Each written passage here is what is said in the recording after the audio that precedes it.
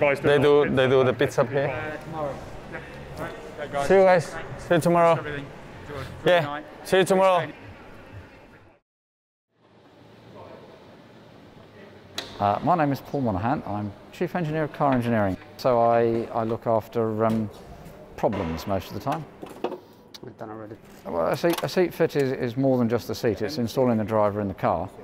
There's pretty limited space within them. There's pretty, um, it's a pretty tight set of confines by which we have to try and accommodate them, but you also have to handle five times your body weight under braking, four times laterally, keep them strapped in, keep them comfortable, and allow them to drive Monaco for two hours or Silverstone for an hour and a half and, uh, and not become um, uncomfortable in the car to the point it detracts from the performance.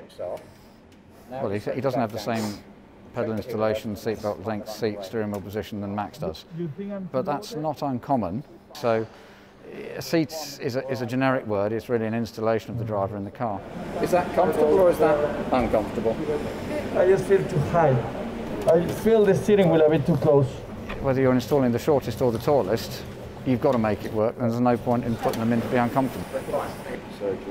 How many seat fits have I done? I, I don't know, 40, 50 probably. Fair few, yeah. We try the belt first.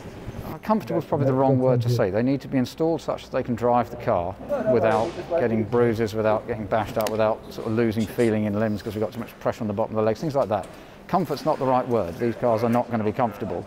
You need to be installed to do your job and drive it competitively, and then we've got a good seat fit.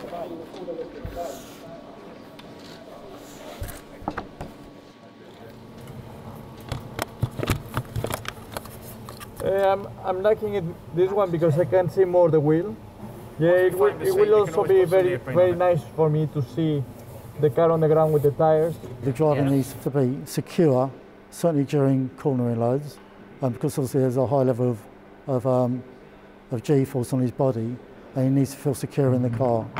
If the driver feels comfortable within the seat, that's it, he- he's happy. Do you think we can get enough support around the shoulders? Yeah, when we blow the foam. Yeah, that'll fill in. What you mean back here? Yeah. Okay, we happy with that?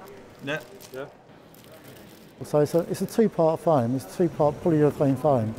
So um, the, the, the same principles still apply. Uh, so you just have a bag, pour, pour the foam into the bag, the bag then expands around the driver and encapsulate the, encapsulate the driver.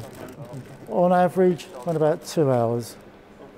Um, possibly longer, maybe shorter. The more time they're in the sport, the more they realise what they need from the outset. We might need to put just a little bit across there, which we can do. Yep. And now it's a case of trim it and see what we've got. I wouldn't want to say that you know, one driver's going to come along and need a seat fit every week and some will come along and, and just do one. Depends